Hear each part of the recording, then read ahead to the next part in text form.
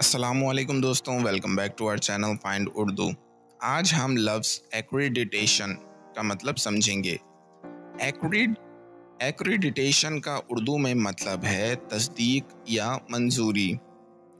Accreditation का मतलब ये होता है कि किसी इंस्टीट्यूट ऑर्गेनाइजेशन या प्रोग्राम को एक मोतबर इदारे के ज़रिए तस्दीक मिलती है।